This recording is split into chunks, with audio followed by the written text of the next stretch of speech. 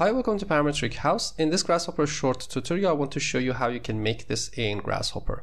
Uh, as you can see here, the first input we have here uh, are two set of boundary curves. Uh, one can be a polyline and another one is a series of closed boundaries inside it. So for example, if I change the location of this polyline input, this is going to also update. If I change the location of these inner boundaries. This is also going to update. Uh, as you can see here, it says that we have to define eight sliders, but you can also give one slider if you want to uh, have the same height for all of these uh, corners. So for example, if I decrease that, you can see that I can put it to zero and it's going to be on the boundary, as you can see here.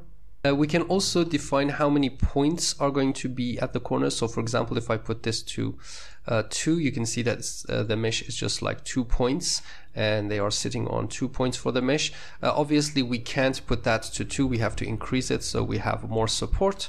Uh, so actually, this is going to help you to have more support at the corners, which I'm going to explain in this algorithm. Uh, that's it. That's the final mesh you can get from the Kangaroo plugin. Okay, let's take a look at the algorithm and how it works.